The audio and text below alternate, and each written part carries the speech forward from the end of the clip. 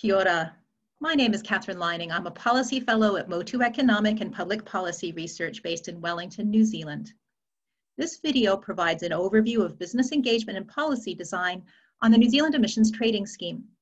This is part of a series of videos that are intended to help other jurisdictions learn from our experience. In this video, I'm going to provide a recap of the key features of the system, address roles for business and ETS design, provide some examples of ETS business engagement in New Zealand, and conclude with some thoughts on shifting the narrative.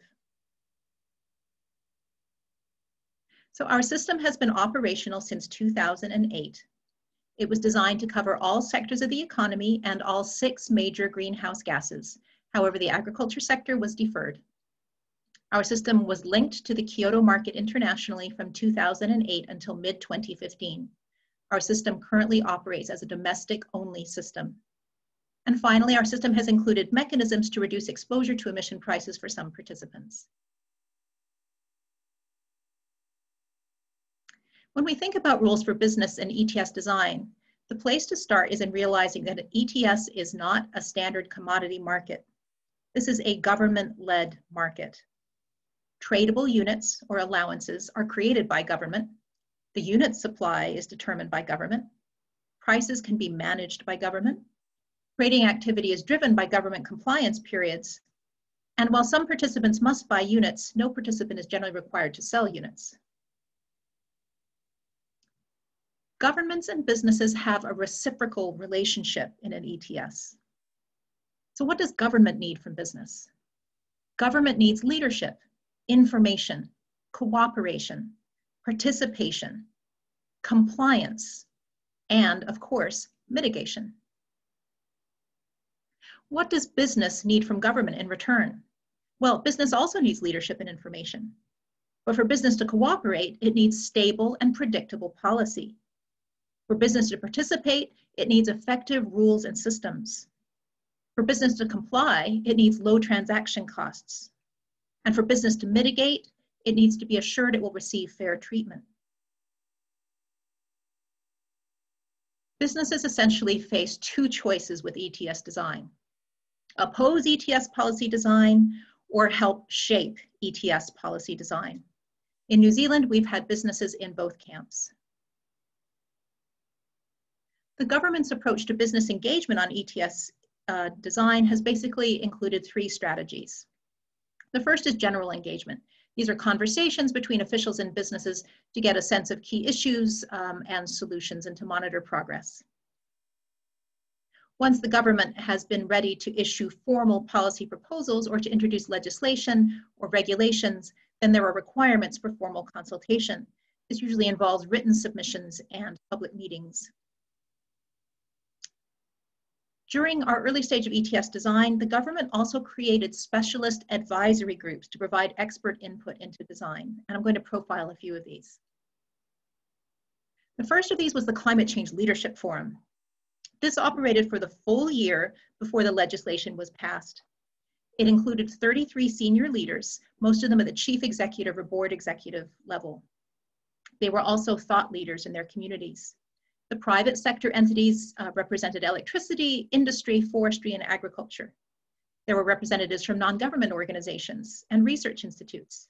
We also had direct government representation. The Treasury Secretary was there, as well as the chief executives from four government departments. The Climate Change Leadership Forum reported directly to ministers, reported to the ministers of finance and climate change. The forum focused on addressing ETS design, economic modeling, sustainability, business issues, and opportunities for New Zealand. This process helped to build an informed and engaged set of leaders who could improve, explain, and support the New Zealand Emissions Trading Scheme. These became the early champions of the system.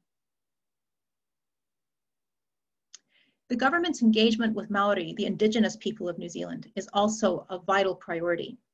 The Treaty of Waitangi guides the important relationship between the Crown and Maori.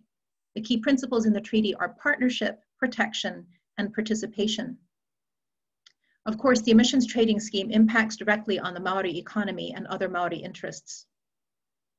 In addition to engaging with Maori through hui, or gatherings, across New Zealand, the government created a Maori reference group focused on the emissions trading scheme and sustainable land management policy.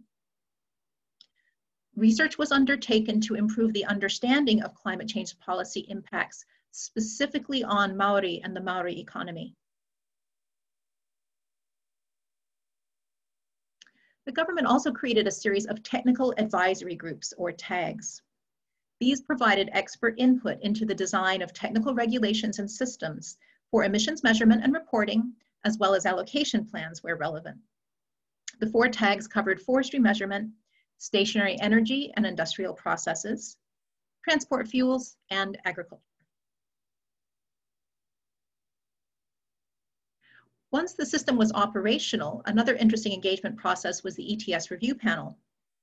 The legislation required a formal review of the ETS to be led by an independent review panel in 2011. The government appointed seven panel members as individuals, not as sector representatives or advocates. However, the, mem the members did include some with business backgrounds and expertise. The government set the terms of reference for their work. This was an extensive review process involving public submissions and a major report.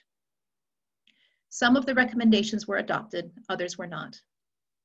The government then removed this review requirement from the next round of legislative amendments in 2012. Businesses have a really important opportunity to help shift the narrative around climate policy and climate action. Here in New Zealand, there have been four core excuses that have slowed our progress on climate policy. And this slide, I'm going to look at each of those excuses and examine how a new vision has been emerging for how we can address those issues. The first excuse, it's too hard. The new vision, New Zealand has huge mitigation advantages from its renewable energy resources and its land sector. New Zealand has a proud history of innovation. If New Zealand can't do this, then who will? And the solutions we create will also create new market opportunities for New Zealand. The second excuse, it's too expensive. Well, all of the economic studies suggest that the cost of inaction will outweigh the cost of action. And ETS will cost less than regulation. In New Zealand, our national brand depends on our clean green image. And finally, New Zealand will have to change if we want to stay competitive under global carbon limits. The third excuse, we're too small. New Zealand accounts for 0.17% of global greenhouse gas emissions. What's the new vision? Everyone is too small to fix climate change if acting alone. A collective problem demands collective solutions. And New Zealand leadership can influence others to act. This is a really important because New Zealand is dependent on the rest of the world to take action on climate change. The final excuse it's too late, so why bother? Well, we can still make a difference, and every ton helps. And we owe this to future generations. The Climate Leaders Coalition is a really powerful example of business leadership on climate change in New Zealand. This is a business led voluntary initiative which has started since uh, 2018. The members take public commitments to measure and publicly report their greenhouse gas emissions, set a public emission reduction target, and work with their suppliers to reduce their emissions. The Climate Leaders Coalition has supported New Zealand's Paris commitments and supported the concept of legislation to create a climate change commission and carbon budgets, our Zero Carbon Act. The Climate Leaders Coalition now has about 107 members, it accounts for 60% of New Zealand's gross emissions and 33% of New Zealand's private sector GDP. It also accounts for about 170,000 workers in New Zealand. The Climate Leaders Coalition is helping to shape the climate change narrative in New Zealand. So I'll conclude with a few key messages. First, an ETS is a tool for business. It needs to work for business, and so it should be designed with business expertise. Secondly, an ETS can be viewed by business as a threat or an opportunity. Take the time to understand the opportunity. Finally, business can play a vital leadership role in changing the narratives about climate policy and climate action. Motu has produced extensive resources on the New Zealand Emissions Trading Scheme, so I encourage you to check out our website or to get in touch with any questions, and my contact information is provided here. And I will leave you with some additional background information about Motu. I want to wish you all of the best of success with your emissions trading journey. Kia kaha.